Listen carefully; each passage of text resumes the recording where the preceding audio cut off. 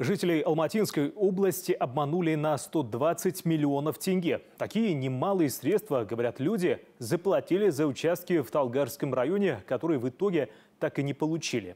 По факту заявления восьми человек в региональном департаменте полиции уже завели уголовное дело. Сейчас правоохранительные органы пытаются установить, сколько всего людей могли стать жертвами обстоятельств. О земельном скандале репортаж Дамира Анитова.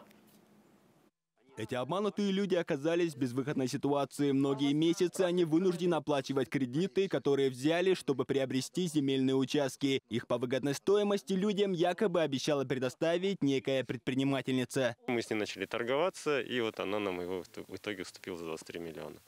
Но вся проблема в том, что она нам фактически показала один участок, а продала другой. То есть тот участок, который он продавал, он вообще находится среди гор, то есть туда ни доступа нету, ни транспорт туда не доберется. Мы ее за 10 уговорили.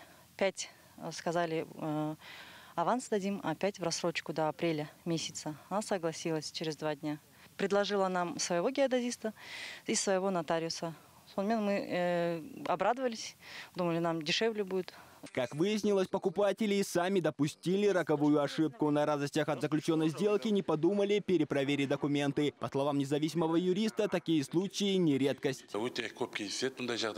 Если вы планируете приобрести земельный участок, нужно обратиться к геодезисту. Он произведет замер. После этого нотариус сможет проверить наличие кадастрового номера и ареста. А что касается этого дела, то продавец может отделаться лишь административным штрафом, так как все подтверждающие документы у него есть. Уголовное дело будет рассматриваться лишь в том случае, если он продал один и тот же участок нескольким людям. Тем временем в региональном департаменте полиции заявили о заведении уголовного дела. Сейчас ведутся следственные мероприятия. По данному факту в отношении 54-летней женщины Управления полиции Талгарского района зарегистрировано уголовное дело по статье 190 часть 4 Уголовного кодекса Республики Казахстан.